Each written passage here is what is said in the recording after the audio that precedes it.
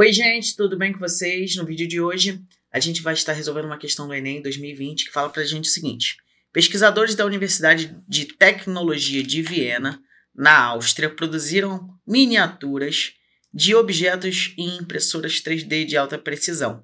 Ao serem ativadas, seis impressoras lançam feixes de laser sobre um tipo de resina, esculpindo o objeto desejado. O produto da impressão é uma escultura microscópica de três dimensões, como visto na imagem ampliada, né? Parece um carrinho de Fórmula 1.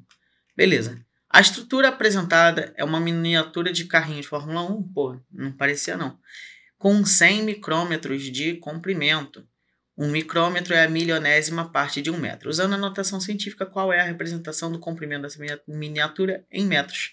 Vamos lá. Então, o comprimento do negócio é de 100 micrômetros. O micrômetro, tá? Esse aqui é um metro, tá? Era para ser uma letra M, mas não foi. O micrômetro, ele vale 10 a menos 6, né? E aí, sabendo disso, né? Como que eu ia saber disso? Ele fala, né, que também é a milionésima parte. Milhão, 10 a sexta, como é milionésima, vai dividir por um milhão. Você pode escrever como 10 a menos 6. Show de bola? E aí você vai ter, ó, 100 tem dois zeros, então você pode escrever como 10 ao quadrado vezes 10 elevado a menos 6.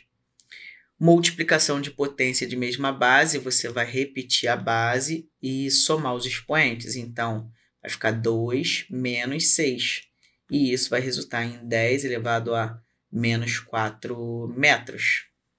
Com isso em mente, a gente fecha a questão justamente aonde? Na letra C de casa. E a gente vai ficando por aqui. Se esse vídeo te ajudou, eu peço que você dê um like, se inscreva no canal. Isso me ajuda bastante e me motiva a continuar produzindo mais vídeos. Grande abraço, bons estudos e até a próxima. Tchau, tchau.